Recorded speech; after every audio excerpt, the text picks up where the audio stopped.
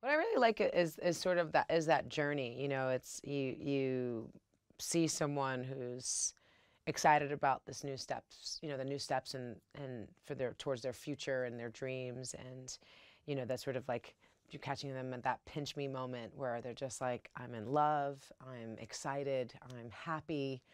When's the other shoe gonna drop? You know, and, and playing that character who's gone through it in her life, you know, the, you you learn pretty quickly, you know, in certain illusions that kind of come come up um, in the first little while of the film that you know she's you know had a strained relationship with her family and her parents.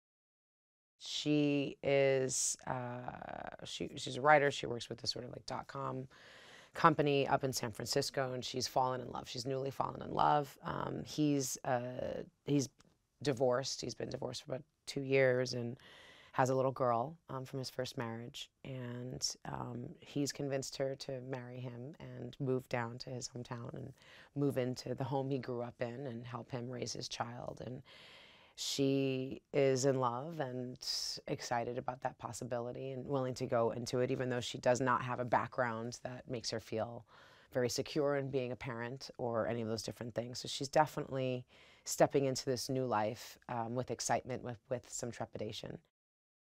She does sort of like the the that scary, evil, perfect Ice Queen thing really, really well. I mean, went full out with the hair and did the whole thing, and and you know, just being that precise kind of personality that you can see and, and that you recognize.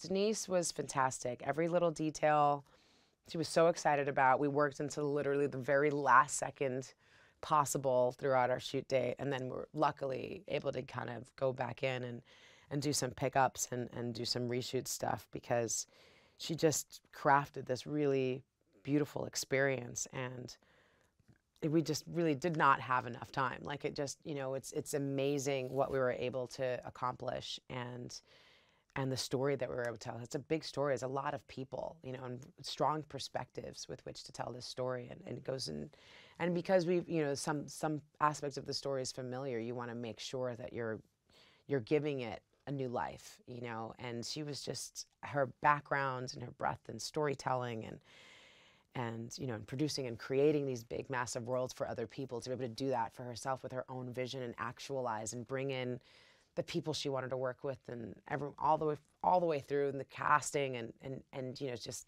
rooting for people and fighting for people that she wanted to work with I remember um, talking to Denise about it. She really pushed for Whitney. Whitney had auditioned for it and tried really hard. And Whitney's someone who I've met over the years at roasts and stuff. And I just think she's just one of the smartest, funniest, most beautiful human beings ever. Um, her skin regime is outrageous. Denise will go on and on about it because she's really uh, amazing. Um, and you know, it was a risk, you know, sort of like an idea. She doesn't normally get to, she's a comedian, she doesn't normally get to play that kind of character. And Denise just saw her and gave her that opportunity.